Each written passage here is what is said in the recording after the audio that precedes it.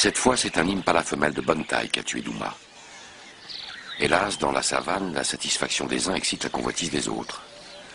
Une telle prise ne saurait laisser indifférente Mama Kingua, la hyène tachetée.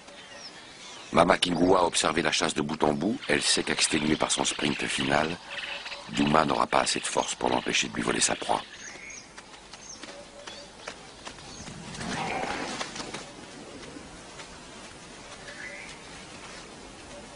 Pourtant, l'histoire ne finira pas comme on l'imaginerait, car il arrive que le faible soit capable de feindre et de ruser.